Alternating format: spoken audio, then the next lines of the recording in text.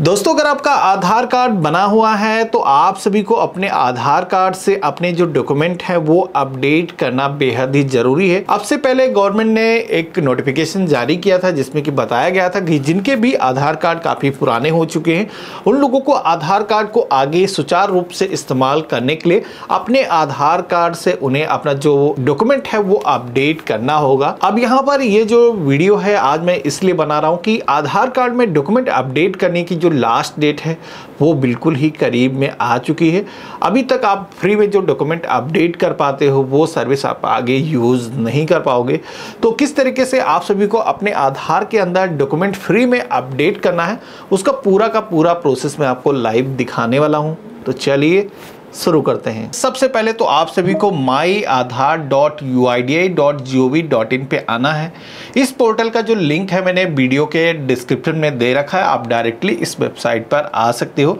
अब यहाँ पर आधार कार्ड में डॉक्यूमेंट को अगर अपडेट करना है तो यहाँ पर आपको लॉगिन का जो ऑप्शन दिया गया है जिसपे आपको क्लिक करना है, देन यहाँ पर अपना जो बारह डिजिट का आधार नंबर है, उसको फिल करना है, जो कैप्चा कोड आता है, उसको सेम कैपिटल अगर है तो कैपिटल में, नहीं तो स्मॉल में इसको वैसे ही फिल कर देना है। इसके बाद में आपको सेंड ओटीपी के ऑप्शन पे क्लिक करना है। अब यहाँ पर जो भी आपके आधार कार्ड से मोबाइल नंबर रजिस्टर्ड होगा, उस पर एक वन टाइम पासवर्ड आएगा, जिसको यहाँ पर फिल करना है।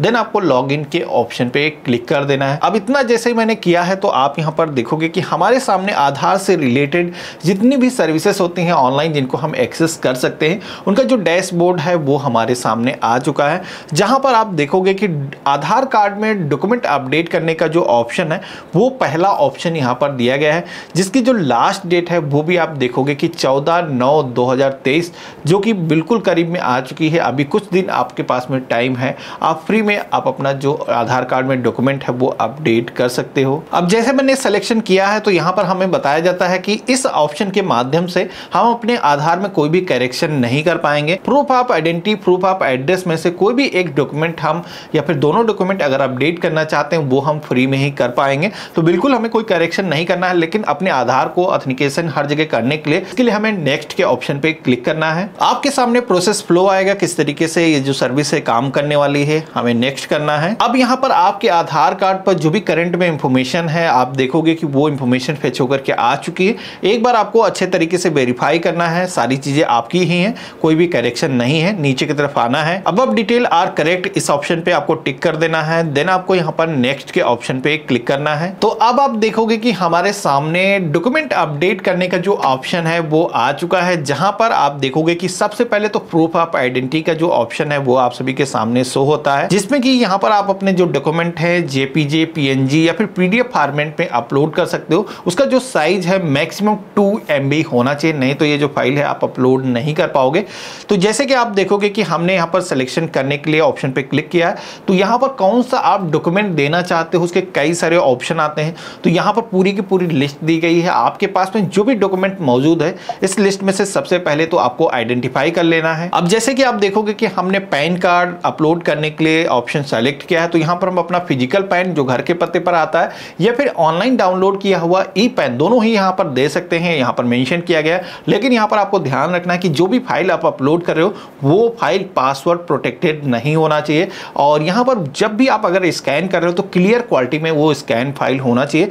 तभी यहाँ पर एक्सेप्ट किया जाएगा तो आप ओके के ऑप्शन पर क्लिक करोगे। देन यहाँ पर आप जहाँ पर अगर आप अपने फ़ोन से कर रहे हो तो उसकी गैलरी ओपन हो जाएगी, कंप्यूटर से कर रहे हो तो यहाँ पर सिलेक्शन बॉक्स आ जाएगा जहाँ पर भी आपने फ़ाइल को सुरक्षित करके रखा है, आपको सेलेक्ट कर लेना है। देन आपको ओपन के ऑप्शन पे क्लिक करना है तो यहाँ पर आप देखोगे कि हमारा प्रूफ ऑफ़ आइडेंटिटी जिसके अंदर हमने पैन कार्ड को अपलोड किया है, वो सक्सेसफुली अपलोड हो चुका है। इसी के साथ में प्रूफ ऑफ़ एड्रेस जो सेकेंडरी ऑप्शन दिया गया है, अगर आप चाहो तो एड्रेस का जो डॉक्यूमेंट है, वो भी साथ ही के साथ अपलोड कर सकते हो। तो यहाँ पर आप देखोगे कि कई सारे ऑप्शन एड्रेस के तौर पर भी दिए गए हैं अगर आपके पास में इलेक्ट्रिसिटी बिल है गैस कनेक्शन बिल मौजूद है तो इनमें से जो भी डॉक्यूमेंट आपके पास में मौजूद है, पूरी लिस्ट मैंने वीडियो के डिस्क्रिप्शन में दे दिया है, पहले से ही आप प्रिपेयर कर सकते हो। तो यहाँ पर आपको उसी तरीके से डॉक्यूमेंट को अपलोड करना है कंटिन्यू टू अपलोड के ऑप्शन पे क्लिक करना है, जहाँ पर भी जिस लोकेशन में आपने रखा हुआ डॉक्यूमेंट सेलेक्ट करना है ओपन के ऑप्शन पे क्लिक करना है तो ग्रीन कलर से कुछ इस तरीके से टिक लग करके आ जाएगा, यानी हमारा जो डॉक्यूमेंट है वो सक्सेसफुली यहाँ पर अपलोड हो चुका है। अब यहाँ पर इस फॉर्म में सबमिट करने करने के लिए नीचे की तरफ़ आप सभी को टर्म एंड कंडीशंस को एक्सेप्ट करने का जो ऑप्शन है, वो दिया गया जिस पे आप क्लिक करोगे देन नेक्स्ट का जो ऑप्शन है, वो हाईलाइट हो जाएगा। हम इस पर क्लिक करेंगे। अब यहाँ पर हम सारी इंफॉर्मेशन को सबमिट करना चाहते हैं। ओके के ऑप्शन पे क्लिक करेंगे। अब जैसे हमने इतना किया है तो आप यहाँ पर देखोगे कि हम फाइनल लास्ट पेज पर आ चुके हैं, जहाँ पहले यहाँ पर पेमेंट करने की ज़रूरत होती थी डॉक्यूमेंट को अपडेट करने के लिए। अभी आप देखोगे कि डेट बची हुई है। अभी भी आप फ्री में अपने जो डॉक्यूमेंट हैं, वो अपडेट कर सकते हो। फोर्टीन सितंबर 2023 तक का अभी आप फ्री में डॉक्यूमेंट अपडेट कर पाओगे। हालाँकि आगे अगर गवर्नमेंट डेट बढ़ा देगी तो आगे भी आप अपडेट कर पाओगे, लेकिन ऐसा मुझे लगता नहीं है। समय रहते आप अपडेट ज़रूर कर लो। तो यहाँ पर आप, आपको केवल सबमिट के ऑप्शन पे क्लिक करना है। तो आप यहाँ पर देखोगे कि आपको कोई भी पेमेंट करने की ज़रूरत नहीं पड़ी है। यहाँ पर हमारी जो एप्लीकेशन है, वो सक्सेसफुली यहाँ पर सबमिट हो चुकी है। सबमिट होते ही हमारे सामने अक्लॉजमेंट जो स्लिप है, वो जनरेट होकर के आ चुकी है, जिसे हमें अपने कंप्यूटर में डाउनलोड करके, सुरक्षित करके रख लेना है। अब यहाँ पर करेक्शन की जो रिक्वेस्ट है, वो सक्सेसफुली दर्ज हो चुकी है।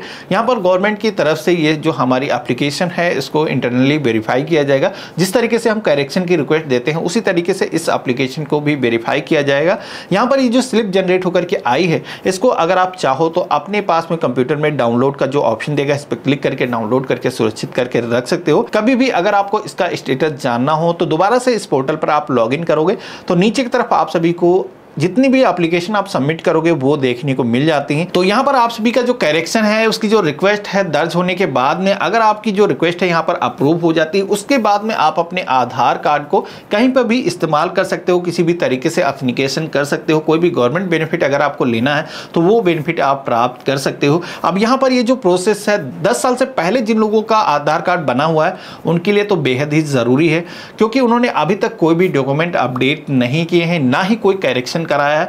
तो अगर आपको 10 साल से ज़्यादा टाइम नहीं हुआ है, तब भी आप फ्री में डॉक्यूमेंट अपडेट कर सकते हो। आपके पास में ये अपॉर्चुनिटी है। गवर्नमेंट ने बताया है कि अगर आपका हाल ही में इशू किया गया, तब भी आपको कोई भी प्रॉब्लम नहीं है, अगर आप अपडेट करते हो। तो इस तरीके से आप सभी लोग अपने आधार कार्ड में जो डॉक्यूमेंट अपडेट की जो सर्विस है, उसको यूज़ कर सकते हो। आशा करता हूँ आज का जो वीडियो है, आप सभी को काफ़ी पसंद आया होगा। वीडियो पसंद आया तो इसे लाइक ज़रूर करना। चैनल पे अगर आप नए हो तो चैनल को भी सब्सक्राइब ज़रूर करना। और हम मिलते हैं अपने नए वीडियो में तब तक के लिए गुड बाय जय हिंद।